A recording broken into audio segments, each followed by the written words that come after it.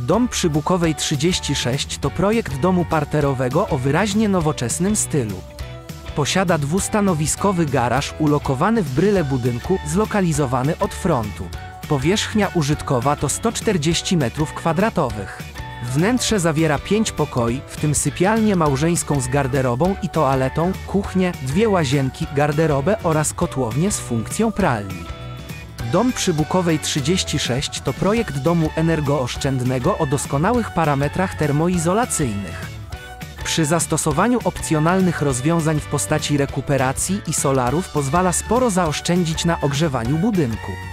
Mimo swojej dużej powierzchni daje się wybudować szybko i niewielkim kosztem. Więcej informacji na galeriadomów.pl